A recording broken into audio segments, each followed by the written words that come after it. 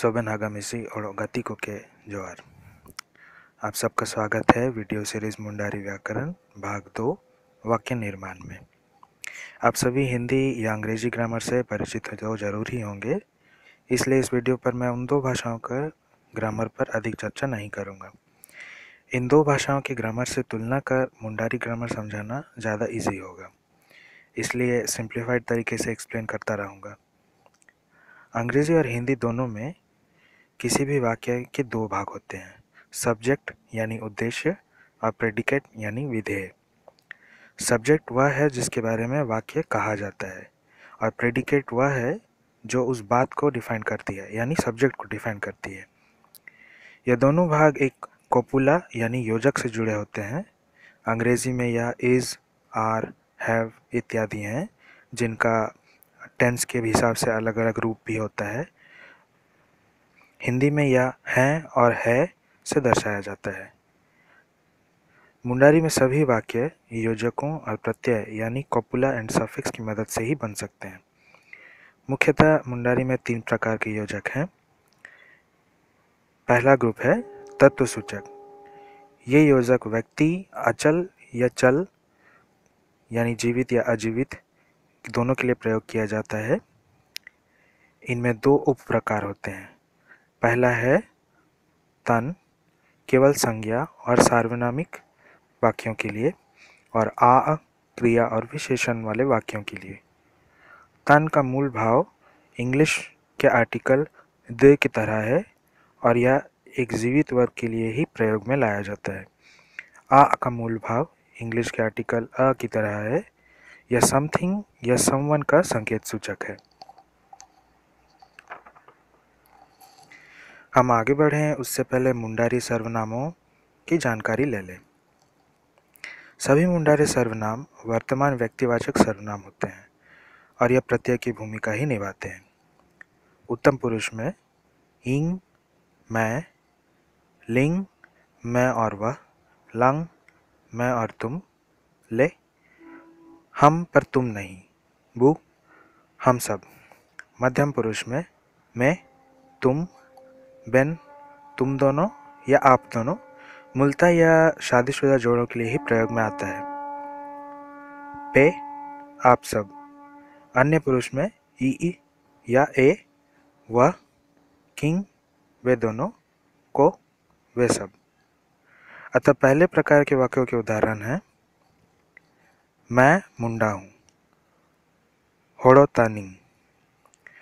होड़ो शब्द मुंडा भाषा में मनुष्य जाति, मुंडाओं की अपनी जनजाति और मुंडा भाषा सभी के लिए प्रयोग की जाती है। स्क्रीन पर दिखे वाक्य का शाब्दिक अनुवाद करने के लिए, होड़ो तानिंग, मुंडा निश्चय ही है मैं। यह चिपट भाषा की खासियत है। यहाँ सर्वनाम बदलकर वाक्य के पुरुष और वचन दोनों बदल सकते हैं। अन्य उदाहरण है। होड़ो तानलिंग हम दोनों पर सुनने वाला नहीं, मुंडा है। होड़ो तानबू हम सभी मुंडा हैं। होड़ो तानी वह, मुंडारी में लिंग भेद नहीं होता, इसीलिए स्त्री पुरुष कौन है यह इसकी जानकारी ई में नहीं होती है। यानी होड़ोतानी वह मुंडा है। होड़ोतान को। वे सब मुंडा हैं। होड़ोतान में तुम मुंडा हो। यहाँ साधारण रूप से ऐसा प्रतीत होता है कि तन का अर्थ हिंदी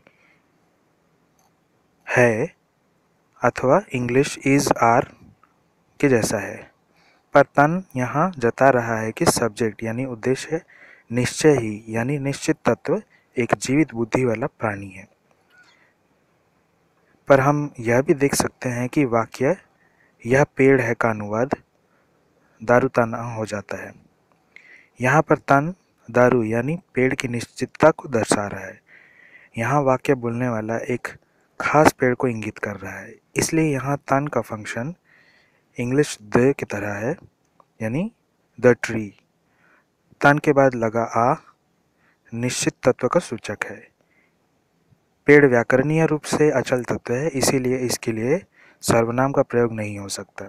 इसीलिए दारुताना तत्व सूचक का दूसरा प्रकार है, आ आ। यह सिर्फ़ उन वाक्यों में ही प्रयोग होता है जहाँ क्रिया का बोध हो या किसी विशेषण का। उदाहरण के लिए सेणा का अर्थ है बुद्धि। अतः शिक्षित बुद्धिमान या बुद्धिपूर्ण इंसान के लिए जो शब्द है, वह है सेणान मुंडारी में भाव, इच्छा, अनुभूति इत्यादि शब्दों के लिए करेक्शन सफिक्स यानी संशोधक प्रत्यय लगाना ज़रूरी होता है। ये हैं गे मूल मुंडा में, गी नागुरी मुंडा में। परंतु ए और ई इतना लघु है कि अक्सर दोनों का उच्चारण मान लिया जाता है। अतः वाक्य है सेणान गियाई निश्चित ही मैं शिक्षित हूँ। आपके स्क्रीन पर जो उदाहरण है, शब्दों के अनुसार अनुवादित, सेणान, शिक्षित, गी निश्चय अ हूँ, इंग, मैं। आप सोचेंगे कि यहाँ आ का उच्चारण अ कैसे हुआ? अक्सर यही कन्फ्यूज़न का पॉइंट होता है नौसिखियों के लिए। आ अयोजक के साथ प्रेडिकेट यानी विधेय का संपर्क हमेशा ज़रूरी है। अतः आ का प्लेसिंग प्रेडिकेट के बाद होता है, पर सर्वनाम के एक्सेंट के कारण आ का अवरोध खत्म हो जाता है और यह आ यानी निर्धारित स्वर आ बन जाता है। पहले के उदाहरण की तरह ही आगे भी सर्वनाम बदलकर वाक्य के वचन और पुरुष को बदले जा सकते हैं। सेणंगिया लंग, हम, तुम और मैं शिक्षित बुद्धिमान हैं। सेणांगिया लंग सेणांगिया वह बुद्धिमान है। बाकी दिए वाक्य भी ऐसे ही बनाए जा सकते हैं। यहाँ आपको दो बातों में कन्फ्यूज़न होगा। पहला, मुंडारी योजक पुरुष अथवा वचन अथवा संख्या का संकेत नहीं देते हैं। कोई भी प्रत्यय अलग से नहीं जोड़ी जाती है जो संख्या बता सके। संख्या का ज्ञान सर्वनाम से ही होता है, इसलिए अनुवाद करते समय आपको सर्वनाम की संख्या देखनी होगी। दूसरा, यहाँ वाक्य सेणांगी आइन बुद्धिमान, मैं या सेणांगी आए। बुद्धिमान वह में नहीं बटा हुआ है। यहाँ विधेय यानी सब्जेक्ट का भाग है, इसीलिए भाग इस तरह है। षणांगीय इंग। यह विभाजन सर्वनामों की अलग प्रजाति, प्रभावी सर्वनाम से अलग है। प्रभावी सर्वनाम भारवाहक शब्द से स्वरों से बनते हैं, इसलिए वे हैं आइंग मैं ही, निश्चय ही मैं। आम, तुम ही, निश्चय ही तुम, आपे, आप ही, इत्यादि। इनका प्रयोग कब होता है, इस पर दूसरे अध्याय में ज़रूरत अनुसार चर्चा करेंगे। भारवाहक स्वर के कारण ही इसे दीर्घ आ से लिख दिया जाता है, लेकिन वह गलत हो जाता है। उदाहरण के लिए अंतर आप देखें आम आम, आले आले, आपे आपे।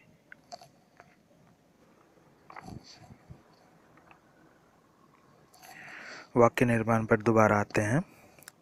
आ जब विशेषण से जोड़ा गया है तो यह आ की तरह उच्चारित हुआ है, और विधेय, यानी जो शब्द है, सेणान, और उद्देश्य इंग के बीच में आया है। जब विधेय क्रिया हो, तब भी यह विधेय से जुड़कर उसके बीच में ही आता है। उदाहरण, साभिप्राय वर्तमान काल, यानी इंटेंशनल प्रेजेंट टेंस में खाने की क्रिया होती है, जोमतन। जमतन एक प्रेडिकेटिव रूट है, यानी धातु विधेय इसका अर्थ होता है, अभी इसी क्षण खाना खाते रहना। तो वाक्य बनेगा जमता नहीं मैं अभी खा रहा हूँ। इसे डायरेक्ट सीधा सीधा अनुवाद करने से, खा रहा, अभी हूँ मैं। जमतन, खा रहा, अभी आ हूँ, इंग, मैं। जोमतानम, तुम अभी खा रहे हो। जोमतानय वह अभी खा रहा है। पर जब विधेय में दूसरा कर्म भी हो, यानी ऑब्जेक्ट भी हो तो वर्तमान व्यक्तिवाचक सर्वनाम उस दूसरे शब्द से जुड़ जाता है। और वाक्य में आ का स्थान अंतिम हो जाता है। उदाहरण के लिए, चावल का मुंडारी शब्द है, मंडी। तब वाक्य बनता है, मांडिंग जोमतना, मैं चावल खा रहा हूँ। सीधा सीधा अनुवाद करने पे, मांडी, चावल इंग मैं, जोमतन, खा रहा, आ, हूँ। मांडिंग जोमताना, मांडिम जोमताना, तुम चावल खा रहे हो। मांडिये जोमताना, वह चावल खा रहा है। यहाँ आखिरी उदाहरण में मांडी जोमतानाए भी होता है। इस अंतर पर चर्चा बाद में करेंगे। अब चर्चा करते हैं कि यहाँ तन और आ में क्या अंतर है? इनकी क्षमता क्या है? तन दो मूल धातु से बना है, जो है ता और ने। ताक का मूल अर्थ है स्थिर होना, ठोस होना या तात्विक होना, यानी फ़िज़िकल रियलिटी इसीलिए तन का अर्थ होता है ठोस होता हुआ, यानी वर्तमान में ठोस होना, तात्विक होना। आ का अर्थ काफ़ी बड़ा है, या वही वही वस्तु, वही भाव किसी चीज़ को इंगित करते हुए चीज़ों को बताने के लिए ही होता है, जो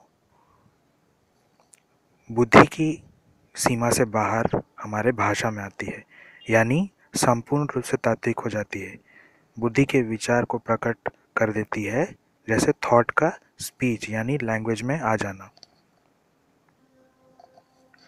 इसी कारण से अगर यहाँ वाक्य इस तरह बनाए, जोमतन तानी तो यह गलत हो जाएगा। यहाँ अर्थ, जुमतन खा रहा तन हो जाना इंग मैं मैं खा रहा हो जाता हूँ। यही कारण है कि जो भी कि होड़ो तानिंग में मुंडा हूँ, अनुवाद होता है। इसका असली अर्थ है, मैं निश्चित होता हुआ मुंडा हूँ यानी मैं निश्चय ही, तात्विक रूप में ही मुंडा हूँ। इंग्लिश में आई एम एसेंशियली मुंडा। जोमतन तानाइंग भी गलत है। यहाँ अर्थ हो जाता है जोम तन खा रहा, तन हो जाना, आ प्रकट होना, इंग, मैं। यानी, मैं खा रहा होता हुआ हो रहा हूँ। ऐसे वाक्यों का कोई लॉजिक नहीं है। अगर तन हटा के आ लगा दिया जाए तो होड़ो आइंग हो जाएगा। यानी, मुंडा प्रकट होना, मैं। यहाँ पर तब यह होड़ो के स्थिरता को ना बताकर उसके भाव को बता रही है। जैसा कि मैंने पहले भी बताया, होड़ो शब्द मुंडारी जाति, मनुष्य और मनुष्य भाषा, यानी हमारी मुंडा भाषा के लिए भी यूज़ होता है। तो होड़ोवाइंग का मतलब हो जाएगा, मैं मुंडारी कहना जानता हूँ। यहाँ आ की क्षमता विधेय होड़ो को क्रिया बना रही है, यानी उसको साकार कर रही है और भाषा के रूप में प्रकट कर रही है। दूसरा योजक है आकन यह उन वाक्यों के लिए प्रयोग होता है जहाँ किसी व्यवसाय, किसी कार्य या पदवी का ज़िक्र हो।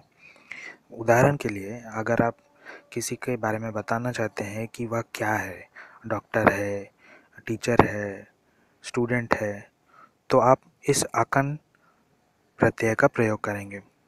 वहाँ पर तन या आ का प्रयोग करने से वाक्य में दूसरे बदलाव आएँगे, जिसके बारे में अभी थोड़ी देर में बताऊँगा। पहले उदाहरण देखें। मुंडा का है वह मुंडा हुआ है। यानी वह मुंडा गाँव का मुखिया, पदवी पर विराजमान है। यह अकर्मक क्रिया प्रत्यय है जो निरंतरता काल का सूचक होती है। इस अंतर को समझाने के लिए हम एक क्विज करें तो बेहतर से हम इसे समझ सकते हैं। वह क्या है? अर्थात वह किस जाति का है? होड़ोतानी। वह मुंडा है। वह कैसा है? यानी उसका हाल कैसा है? बुगिन गया है। वह सेहतमंद है। वह क्या है? यानी उसकी पदवी क्या है? मुंडा करना है वह मुखिया है। वह निश्चित रूप से कौन है? मुंडा तानी, वही मुखिया है। He is the Munda. अब तक बताए सब प्रकारों के अलावा एक तीसरा प्रकार भी होता है, जो योजक प्रत्यय से नहीं बनता है।